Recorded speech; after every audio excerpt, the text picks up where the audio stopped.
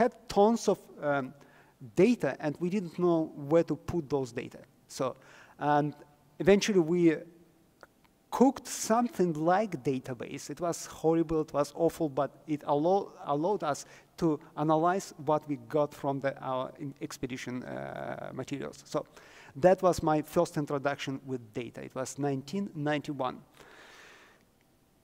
So JSON, it is JavaScript object notation.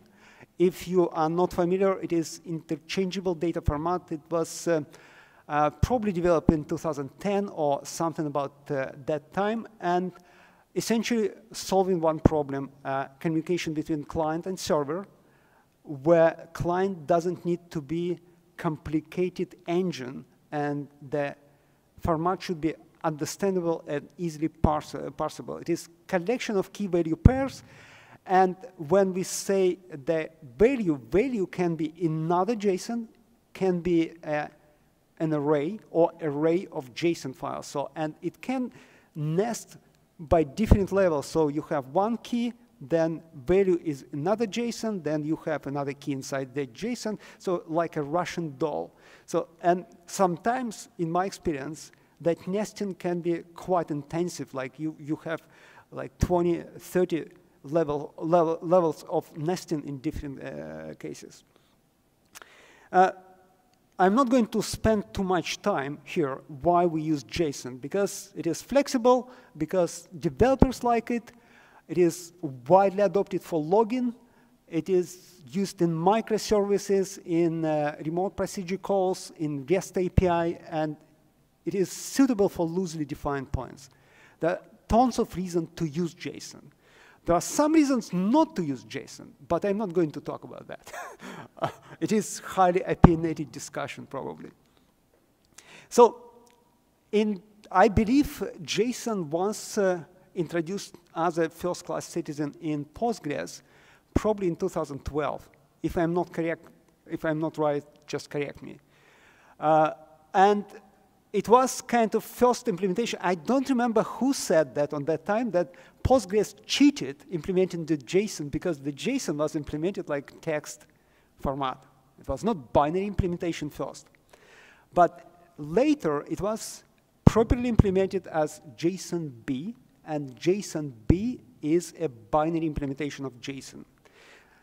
And what is the difference? As I said, JSON itself, it is a blob of text with keeping the all original um, formatting and keys and everything else as it was inserted. The JSON-B, it is a binary tree with uh, header with JEntry and context stored, stored like separately, and you have a like a tree, search tree inside each JSON-B file. So since it is, uh, since it is, it has to build that structure, it is parsed every time when you insert the data. So from that fundamental difference uh, between two different formats comes some uh, additional consequences.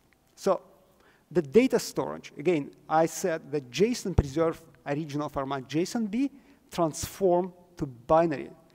When JSON-B transforms to binary, it eliminates duplicated keys and store only the last value for duplicated keys, when the JSON will store duplicated keys as they were inserted first. The operation with keys, the JSON itself as a format, it is a text value. If you want to update it, you just replace it. When the JSON-B can be updated. You can add delete key, update key, and the same applies to nested uh, keys as well. And performance-wise, JSON really good when you insert the data because you don't need to parse it. But it is not so great when you want to query the data because when you want to search for key value, you need to parse the, every JSON uh, JSON value and get the keys and uh, do, doing all the, all, all the work. So when you work with JSON-B, you pay when you insert the data, but you get benefits when you extract the data. Also, JSON-B supports GIN index, which can improve your search. In some cases, really uh, with great benefit. Some cases is not. It depends, again, how the, the tree, GIN tree is built and what kind of data you have inside. But still, it is uh, one of the benefits you can consider as a one potential when you choose between how you store your data, JSON or JSON-B. The simple uh, example is I created a table with um, like two columns, one ID, another is JSON. And when I created a table, I put a JSON just to show the difference between how you, how it is different when it is inserted. And then I put two rows. One is cast as JSON, the same data are cast as JSON-B. And you can see the difference. The first, you see the first uh, row has duplicated keys, and it is exactly as it was in original insert. But the second, the keys were sorted first, then the active key has only last value, active equal true. So it is different in many ways. So it is just simple example how they different when you insert the data and what kind of output you may have when you get a JSON versus JSON-B. So what to choose? That's probably question for million dollars. because if you know in advance what you want to do with data, you probably might have better decision because JSON-B is preferable in most cases when you want to update the data, when you want to index the data without knowing in advance what kind of path for access you want to have, and when you care about extract performance. But there are some cases when JSON can be much more preferable.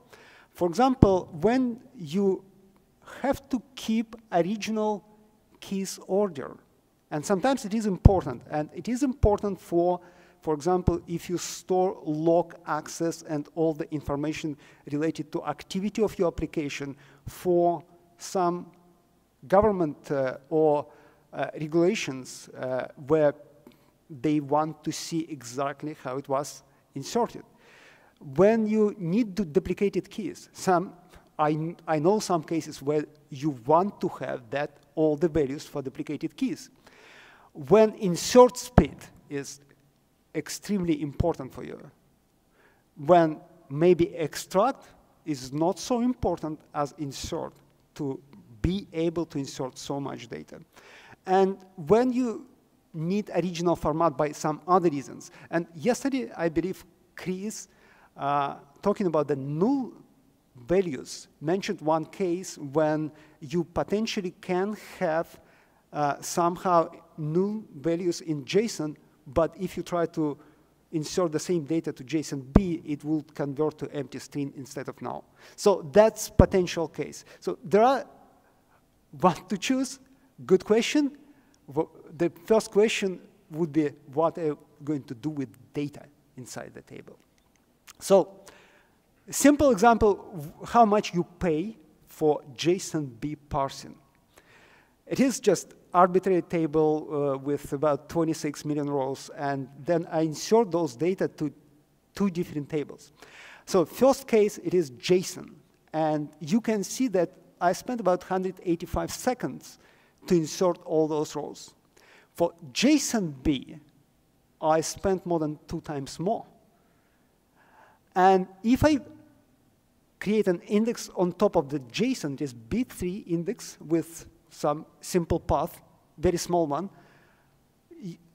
the insert speed reduced by two times. And, but when you create the same index on JSON-B, you can see the difference is not so big because when you parse the data, you use the same data to insert to the index. So that's good. For select from the JSON, you have 67 seconds. For JSON-B, you have only four seconds. This 16 times performance benefit, right? Uh, if, if, you work with indexes, it is a little bit less difference because what is different is only extracting path when you get the values already filtered by index. So for another select, I just add one more condition to select. It is even more di difference when you talk without indexes, JSON-B versus JSON. So you have, you can see that extract is much faster for JSON-B, even without any indexes. And with indexes, that difference uh, still exists. Yeah, question?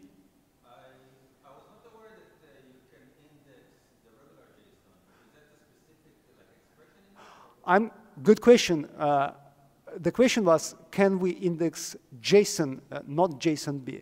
So we are going to talk about that in details uh, later, but yes, you have, you can have create some indexes. Yes, it is the same table, same conditions, the, the just. So JSON-B is slightly bigger when you insert the data. Yes. So the size for the JSON, because you have header, you have additional metadata on, on top of JSON when you parse it. But it is not always the case. yes, but if you don't have extra spaces, like in that case, if you don't have extra spaces and if you don't have duplicated keys, you don't don't save too much uh, information, right? You don't have too much space. So uh, yes, potentially JSON-B can be less, but if you don't have extra spaces, duplicated keys, or anything else, it would take a little bit more time, space, sorry. Yeah. yeah. All right. A uh, couple of words how we work with JSON. Let's step back and think how we work with data in the database. So we first, Planner will build execution path, then you extract the data from the pages in buffer cache, would put it to the datum in the memory, and you work with the data, and it, you work with data set, you join the data set, you aggregate, and everything else. So that's great. And we don't talk too much how we extract, for example, column number from the page, right? It is, oh, we have a column, we find it uh, place where the, it starts, we read the data, we put it to, to the memory. That's great. What in case of JSON?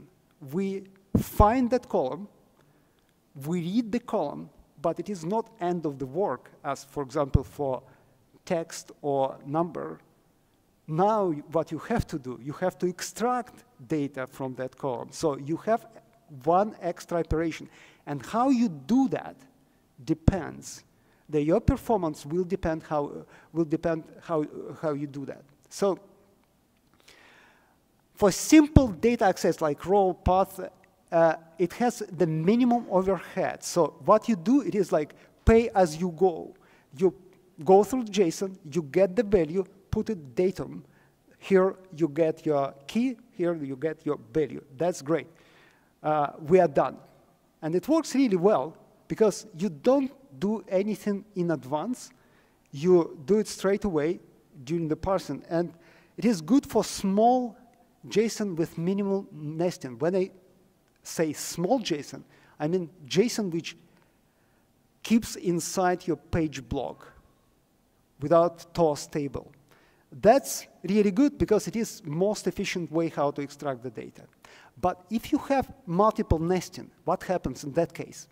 So you have, you go, you get your column, then you start to parse your column. You find the key, and you find the value. And value, another JSON. Oh, okay.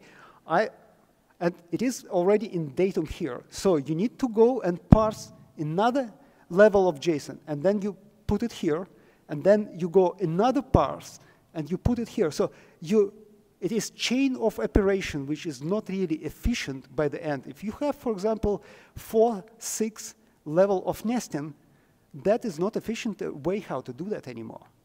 So how you can improve it? All right.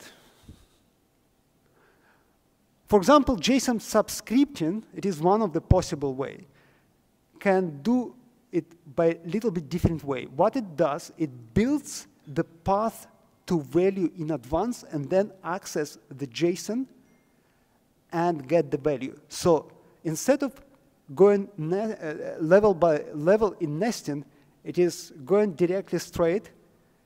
You pay in advance, but you save time on that uh, operations. If you have one, uh, one level or one level below, it will not really give you any difference with uh, previous uh, data access, but it will help you when the nesting is more like six, seven level. On the eighth level, probably it will start to struggle as well. One fun part. So I have a question for you. So, so right, let me. What is, what, what do you think, what is faster if you see that data equal first name bus, like a, uh, like a varchar, right? And then another one is if I put JSON build object, which one would be faster? What do you think, guys? Any guess?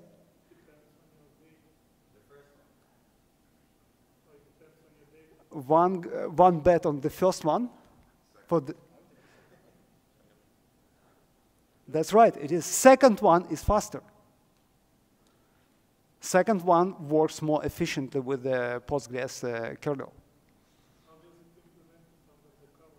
Oh, that's probably beyond that presentation, guys. that would uh, probably, uh, it, it is great question how it is implemented, but uh, it would take uh, too much time really going through and go through all the implementation.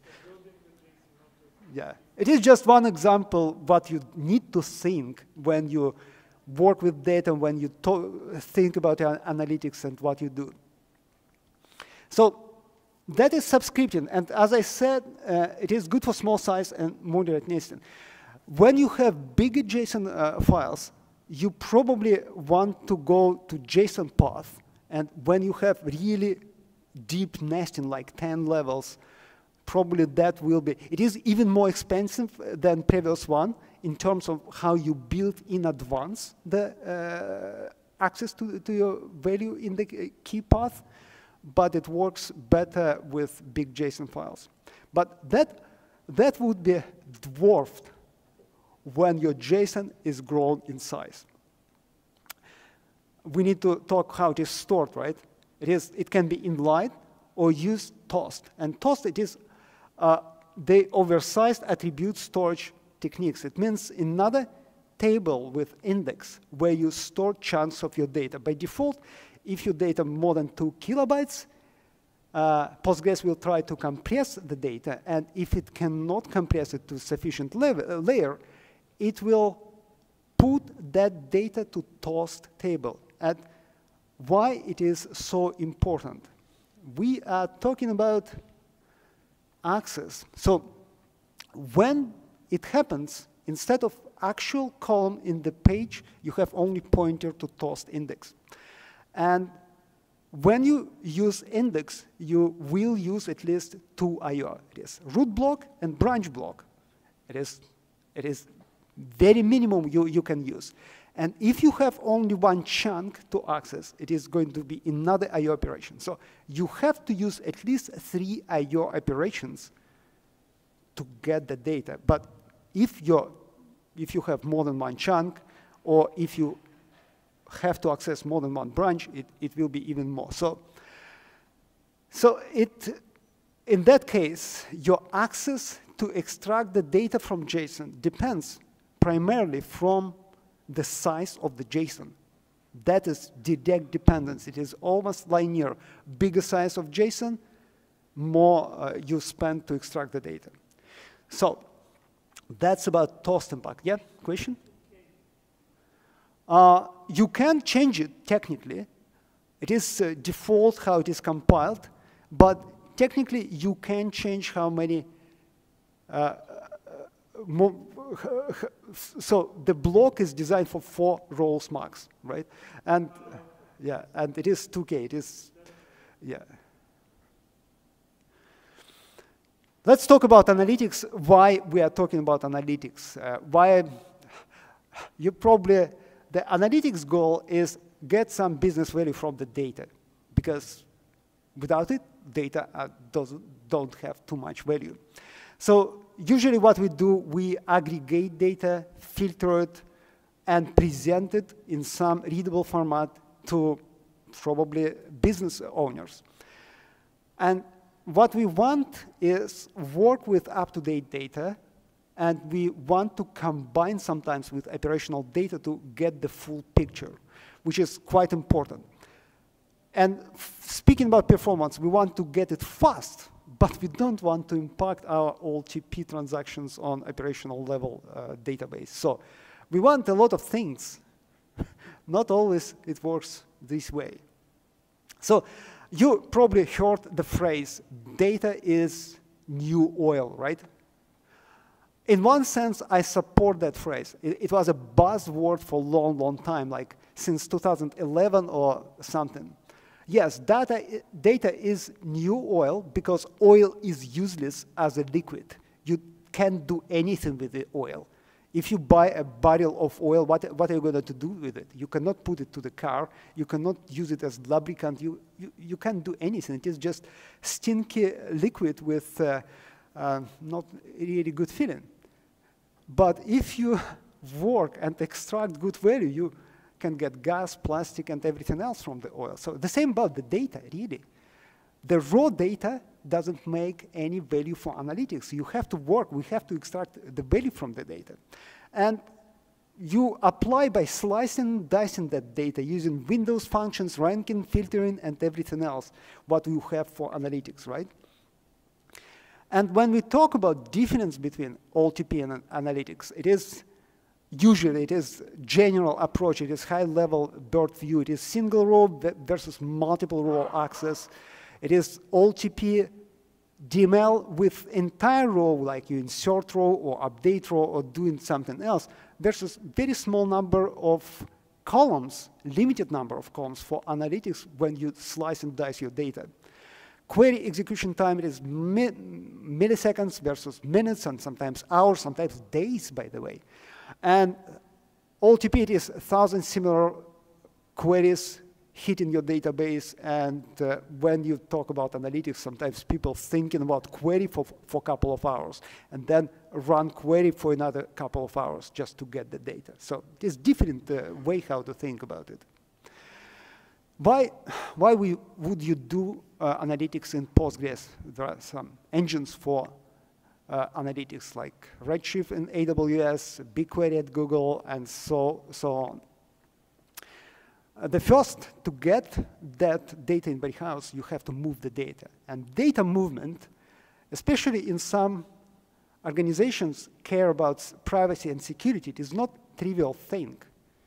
When you move data from operational database, you have to think about security, privacy, how you mask the data, how you work with data, how you limit access to the data. There are tons of things when you start to move your data. It is not like you create a pipeline on POC in the cloud for uh, in two hours. Oh, I solved the task. No, there comes security assessors and say, oh no no no no, you can't do that.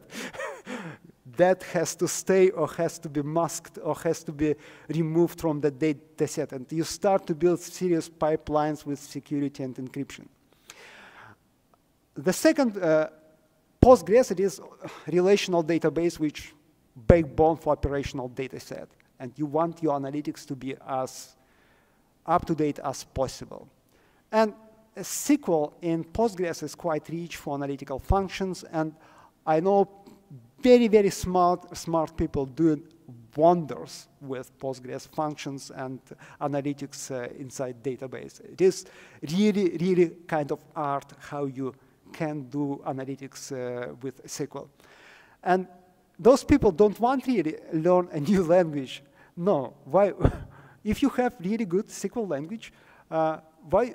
Sometimes, for example, BigQuery has SQL language. It is, it is not really SQL. Uh, it is special dialect of SQL, which you need to learn, and it has its own limitations and so on. So, how are we doing? All right. Uh, some challenges with JSON. Uh, the data inconsistency. That's quite important. Uh, you can see that insert date, it is 2024, March 14, yesterday. It is kind of obvious, right? But if you have different locale on the, your server, it could insert date 0314 uh, 2024. That is different and your application may not be able to transform that data. And it can be even worse. It is 2024 03 12. Is it March 12th or it is the 3rd of December? you don't know really, because it can be both.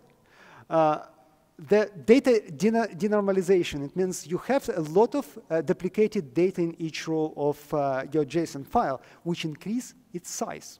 And we discuss about the size. Size is important. Toast can kill your performance. Uh, potential performance implication because of size, potential integrity uh, pro problem because you don't have integrity and constraints on top of uh, the JSON. And by the way, by default, you don't have any statistics for values inside JSON. So when Planner tries to parse the JSON, it doesn't know what is inside. Some recommendations. I don't call it best practices, but it is from experience. Don't keep all in JSON file. When apart from some cases when you want to do that and you know why you, you do that. The idea of having one column table is not the greatest one when you try to work with the data later. That's from my experience. Try to put only flexible part of the data, which you want to be in JSON, in the JSON column. And keep, try to keep it small, avoid toast. The dictionary data, it is dimensions how you want to slice your data for analytics. Probably better to keep outside of JSON because that data you want to be structured and has have, for example, traditional formats. I will show you how it can help in some cases. And again, when you put conditions how you want to filter your data, for example, or group your data, maybe try to avoid JSON parsing in that part because it can slow down your analytics query really, really significantly, I would say. We are talking about big uh, data sets when every microseconds matter. So what can help? Um, in general, of course, you can have replica, use partitioning, that's help a lot, parallel, and in some cases, depending on engine, you probably can use columnar store. In some cases, it helps a lot. In some cases, it doesn't, but it is one of the possible solutions. We will talk a little bit about columnar uh, later. So let's talk about indexes.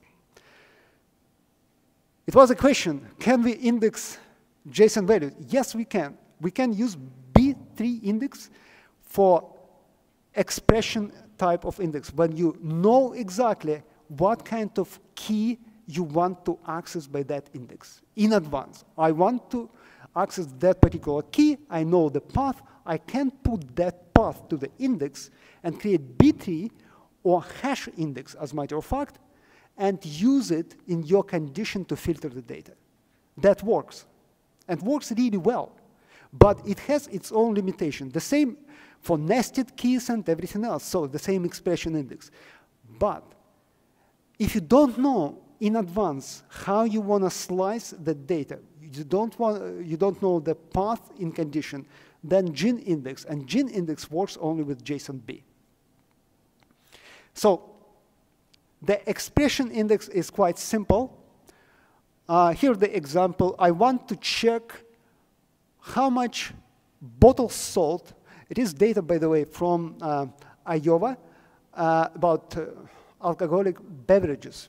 So if I want to see how, how many bottles was sold in Wayne County of Iowa, I, I can put the sales data and county key in my J, uh, index expression and create B-tree index. It works really well.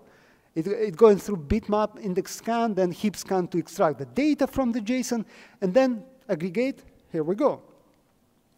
So execution time is 64 milliseconds for that particular query. And why I put it here, because we are going to check with other type, types of indexes. So uh, I don't want to spend too much going through the uh, plan. Plan is simple here. You have bitmap index scan on index, then you parallel heap scan on the data itself to extract the value, and then aggregate all the uh, sum of bottles, right? GIN index. It has nothing to do with beverage. It is general inverted index. It has different structure. It has structure with nodes, branches, and you have uh, IDs for your values for rows inside each branch. It doesn't keep any duplicates. It uses when the it split the pages when it overflows. And when you update the data, it is quite interesting. When you update the data, it creates a pending list for updates. And in, it works in combination with pending list to search your data, and then, depending on your parameters for, for your instance, it will push the updates to GIN index. And that push has its own consequences. I saw when the, with highly updatable table, sometimes you have huge spike in uh, activity when your database 100% busy working updating the, those changes from pending list. And then it, it is back to normal.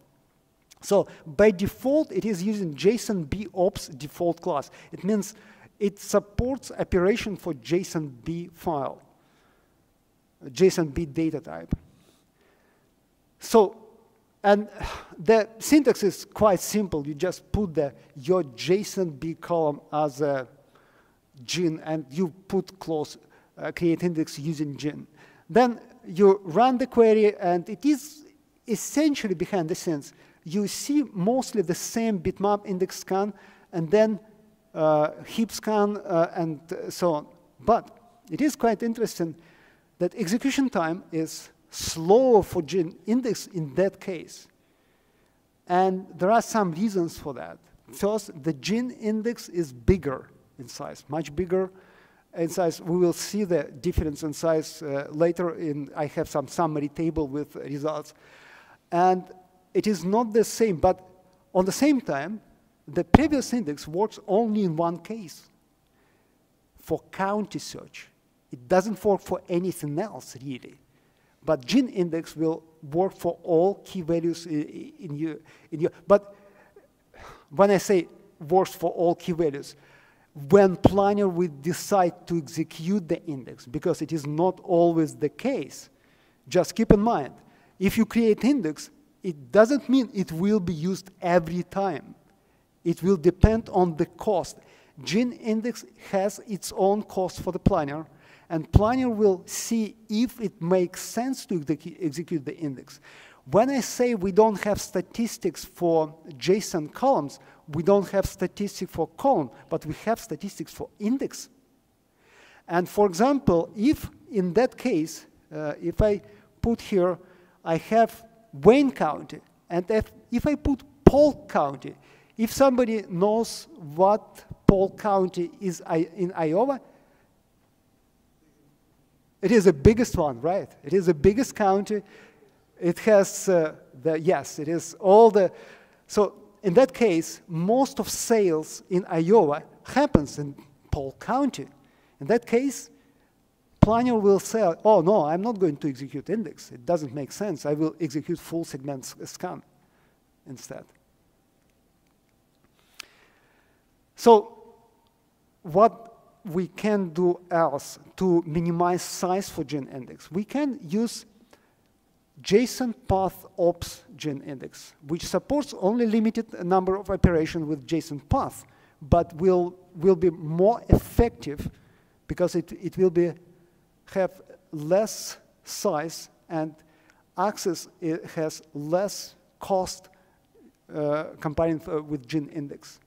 So if we have a look, GIN index execu execution time was 177 seconds. the same exact operation. So we put condition when create index JSON path ops here and execute exactly the same query. Execution time 64 milliseconds. It means it is comparable with uh, B-tree index, but it is not limited as a B-tree index by only one path. You can use different path uh, as well. So in some cases, it is probably better solution than just gin index with all operations. It depends how you want to work with your data really. You need to know what query are you going to execute. So index and part. Nothing comes for free in this world, right? And of course, if you have index, you have overhead. And overhead can be quite significant. It is insert, update, delete penalty, is storage, it is vacuuming for every operations as well. If you update or delete uh, uh, in the table, you also need to work with the index. And we were talking about pending changes for GIN indexes. Sometimes it is huge spike in, uh, in the load, just coming out of blue, just because it decides, okay, it is time to apply the, from all the pending changes to the index. Uh, just simple index impact. Uh, we inserted data in nine minutes without index, create simple GIN index, and insert the same data to the same table and it takes 34 minutes. That is difference. It is index overhead. And I'm not talking about the size. It is just simple, very efficient insert. Some summary table, what, it is not really like data you can use, but it is for comparison. It is neck to neck, more or less close, the same data, the same table, different data types, different indexes. So the build time for B-tree index, it is 34 seconds. Quick, but again, it is small one path for index. For GIN index, it is quite different. You have 1,181 seconds to build GIN index with default index with JSON B ops class. For JSON path, it is more than two times less. And you can see the size as well. The B-tree index it is 174 megabytes. And by the way, the table size itself, it is about 20 gigabytes table, 26 million rows. So 174 megabytes for one small uh, B-tree index. But for GIN, it is 4 gigabytes. It is comparable with table size already, in the same ballpark. For GIN, GIN uh, with uh, JSON B path ops, it is slightly less, but still about 3 gigabyte size. So it is storage overhead you need to keep in mind. And storage overhead, it is not only the storage itself, it is vacuuming operations and everything else related to that. And I run just two simple queries. And the query is relatively the same we used in the uh, previous examples. And access in milliseconds, average access, it is uh, like uh, I, I ran it probably 20 times or so. So with B-tree, it is 30, 30 milliseconds. Again, it is milliseconds. It is less than one third of a second. With GIN index, it is 178 uh, milliseconds. With JSON B path ops, it is 66. Again, by the way, it is JSON B because for JSON, it is slightly different data. If you build an index on B-tree. And if you don't have any indexes, it is four seconds to the same exactly query. The second query, adding one more condition to the query, uh, it will extract a little bit more data. In that case, your select will be uh, less efficient, but it is the growing data. It is just to extract the data from JSON itself. For JSON B path ops, it is uh, 375 and then 139. Again, difference for JSON B itself will not be so much because it is different paths. When you, for JSON B without indexes, you're going through all the blocks anyway, right? It is, and depends on conditions, whether you extract data related to two conditions or one conditions, it will not be too much difference. And insert. Here the insert, and probably that can you tell? It is uh, 520 seconds, then 2,358 seconds, or 1 million seconds. And if we talk about the JSON B insert, it is not too much different from JSON B with index, right? And it, it makes sense because you parse your data and you just add the data to the index on the same time. So it is not too much difference. So uh, we are almost, we have index advisor in AlloyDB, for example, at Google. It can help with non-JSON value as of now. But what we are working, and I'm trying to push it because I like JSON data type, to make it working with JSON and make it uh, more suitable. So what you can uh, do, we can increase CPU and memory allocation, put tons of hardware, or you can try to use columnar engine. And just, I, I know I'm almost out of time, but let me steal a couple of minutes of your time and talk. So in, we have columnar engine, and that columnar engine representation of your data in memory using columnar unit. And each columnar unit has a dictionary and information about what is stored inside columnar unit. Also what it can do, it push down predicates, it use Bloom filter, and use SIMD to access the data.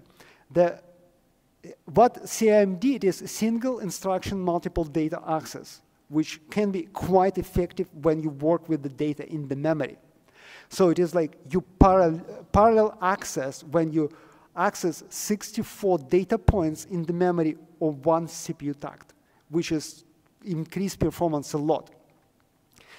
It can help with aggregation joins uh, and fast pruning for partition tables and everything else. It has, so essentially what you have, you have uh, some dictionary on top of that uh, columnar unit. You know what is exactly inside the dictionary. It works for most of the data types except JSON. I know it is kind of, oh, it is great engine. No, it doesn't work with JSON.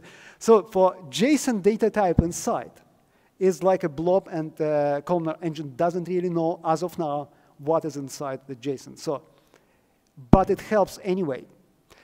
Uh, for, for example, if you run the same query with gin index and columnar engine, when your data in columnar store, it will work relatively the same in terms of performance, but you will not have that index overhead when you insert the data, which is, can be quite significant. And uh, when, when it, it helps the most, when the non-JSON and JSON column data are populated to columnar engine.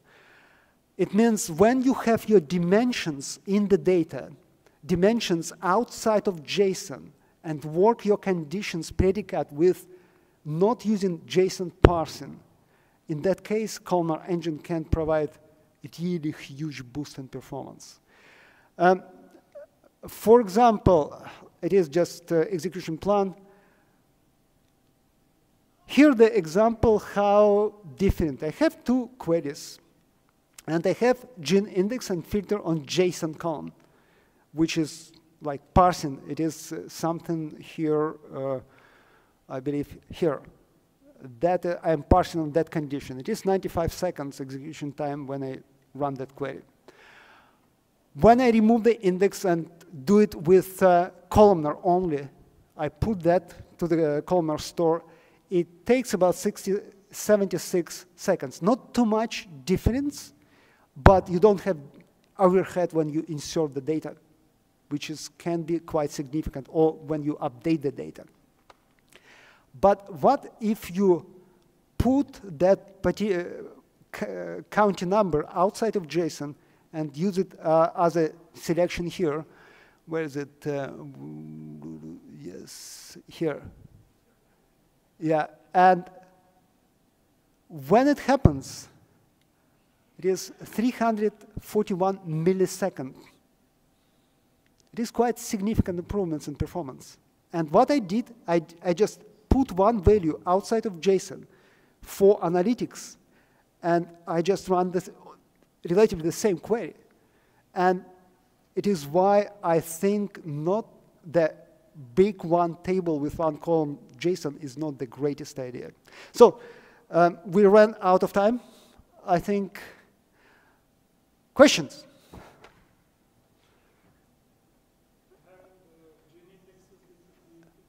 What?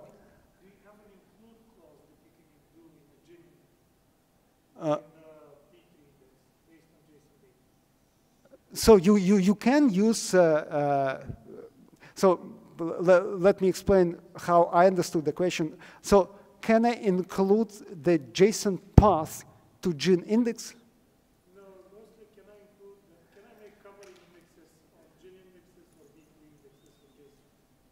If you go back to your execution time, you will see that the biggest cost of the whole thing is not scanning the index, but scanning the JSON Yeah. table. Yeah.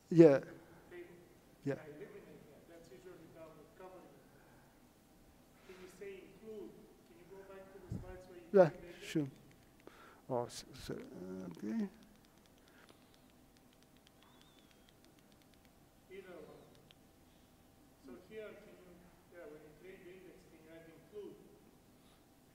Uh, here?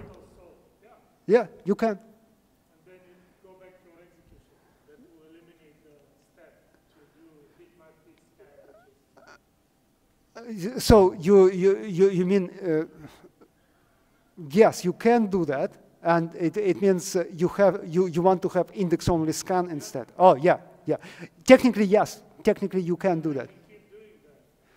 But uh, you, you remember that it, it will not be for free, right? It, it is not going to be for free. I mean, your, your overhead will be bigger. Yeah, but if I can track my queries and what mostly people do, Yeah, but it depends on your data size and how much you're going to pay for that. It is rate of changes, yes. Uh, yeah, it is one of the possibilities. Which one? That?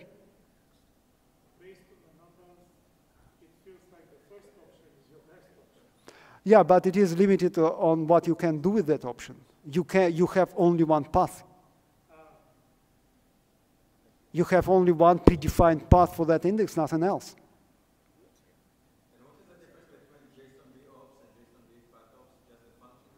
It is what, what you can do actually, uh, how, how many operations it supports. Uh, so, where's- JSON B path ops supports only three listed operations, nothing else. It is what, uh, how you uh, filter the data. That's the main difference. It is why it is small, why, it is uh, faster, why it is working by this way. Uh, nothing for free in this world. You pay by one way or another, right?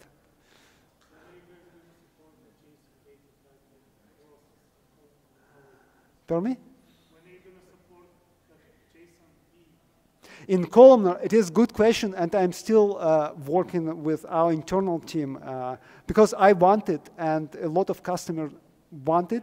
Yeah, because it is it creates a, a huge opportunity when you don't need to create indexes on your analytical environment, and insert tons of data, and on the same time get really good performance. Yes.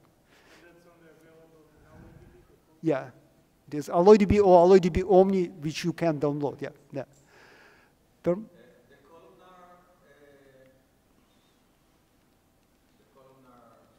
Engine. Yeah.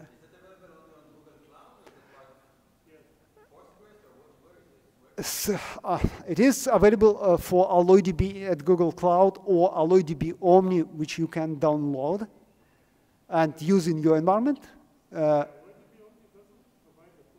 it does.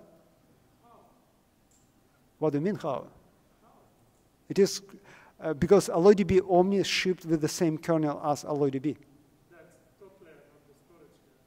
Not the storage layer. Storage layer le- level is, but columnar is in memory. Yes, columnar is memory representation of your existing data. In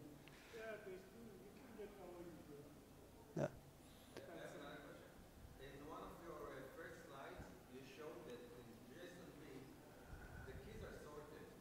Yes. When do they get sorted? Because sorting them is the overhead that many times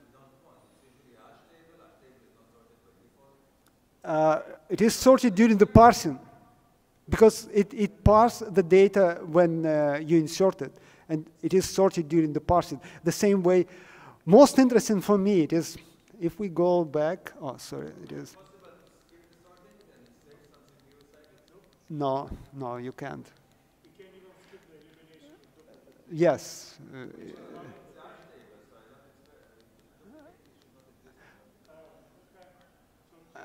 where is it? Uh, so for me, most inter interesting that you expect the active to be here, right? Yeah, but it is mostly like here and then active because only you have duplicated values. It is why it is at the end. Yeah. Uh,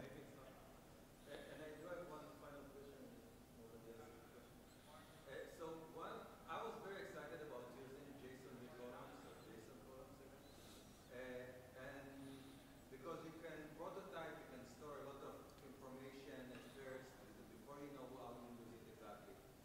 But because of the MVCC feature uh, or infrastructure, uh, whenever you update a key, you have a full copy on write of the, the whole row, right?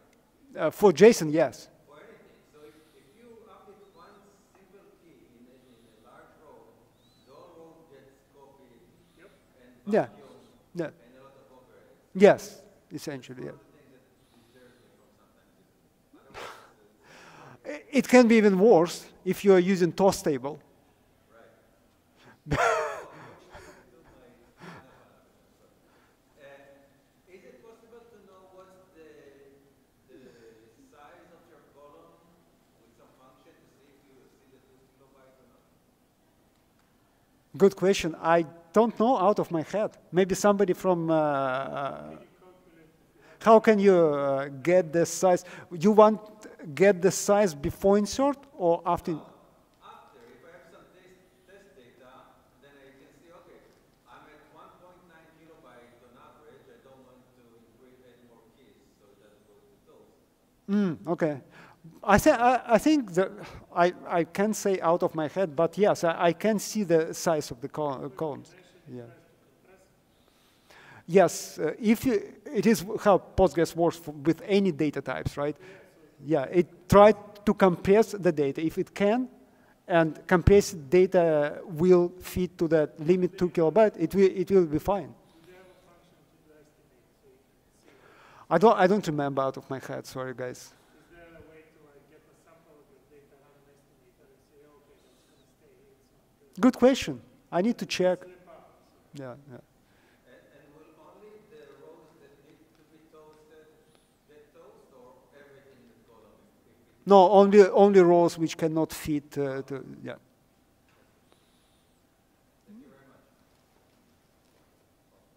Oh, question.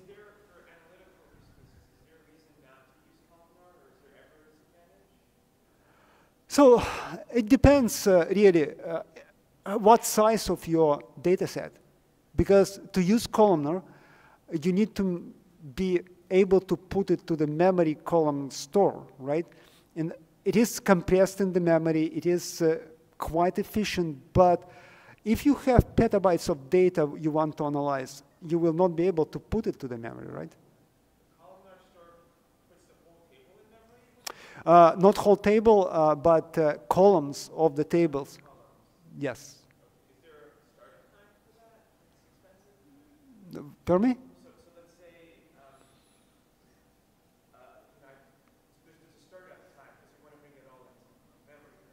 Yeah. This population of the column can be done by three different ways. You can put it to your Postgres conf file, names for the columns and tables you want to populate every time when the database starts. It is one way.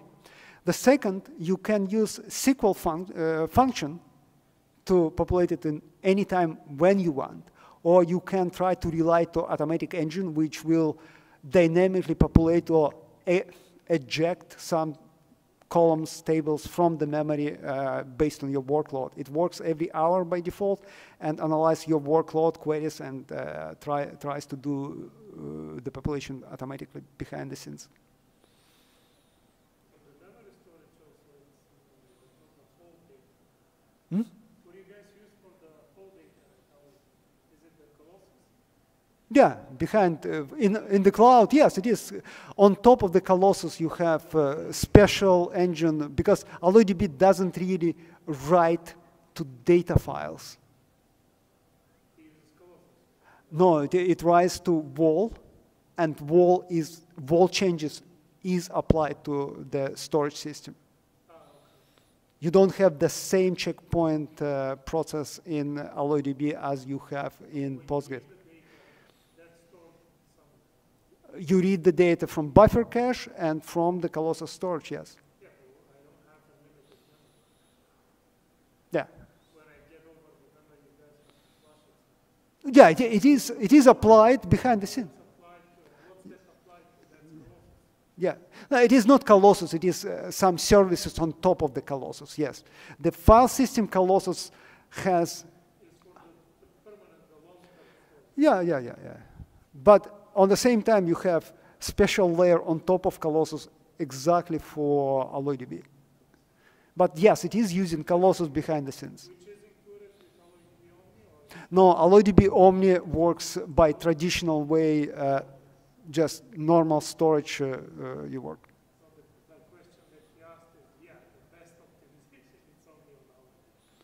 The best, yes, for storage optimization, yes, yes, Which is the service on top of it. yeah. Where do you vote for adding this to AlloyDB? Tell me? Where do we vote on adding the feature to support column Uh, you can write to me, really, and I, I, I will tell to product manager that we have more votes to make the changes.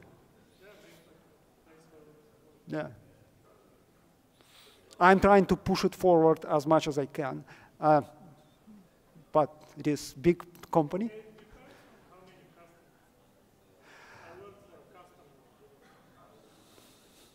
Yeah, depends from many reasons, but from engineering resources, it is a lot of things involved.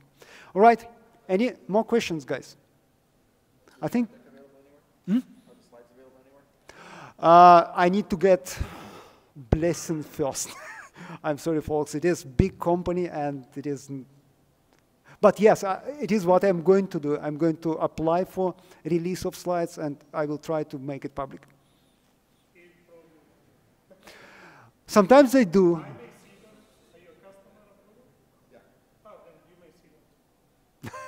Right. All right. Corporate customer, I know how they list. Yeah, yeah, yeah, yeah. They'll join you know, like a preview customer. But no, some, sometimes uh, for uh, for advocates like me, uh, they they let me to publish it externally if it is already presented. So you're not as Oracle. No.